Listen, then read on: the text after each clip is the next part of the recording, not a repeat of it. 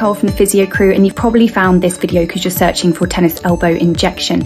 Now, tennis elbows injections are something that they used to use to try and help settle pain in and around the common insertion origin, which is where the um, tendon attaches to the bone. What we now know is that although this can relieve pain in the short term, often it has poor outcomes in the long term. So I'm going to put some links um, below the video to help you to see the available evidence. But I'd strongly recommend if pain isn't very, very severe and you haven't been recommended by a consultant, I would strongly avoid having a tennis elbow injection. And that's because it can lead to reoccurrence of the injury.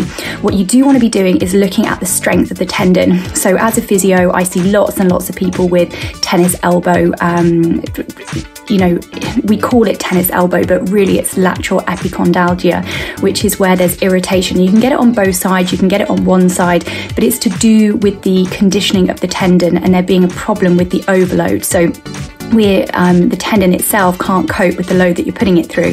So quite often it seems counterintuitive to then do exercises. Now the exercises that we would do is look at pitching, um, the looking at the strength of the tendon. So we may start with something like an isometric, and there's good evidence to show that three lots of 60 second holds um, with an isometric can help reduce pain instantly. We look at deep transverse frictions, that is purely working on desensitizing the tissue and um, the signal that's being received from the brain.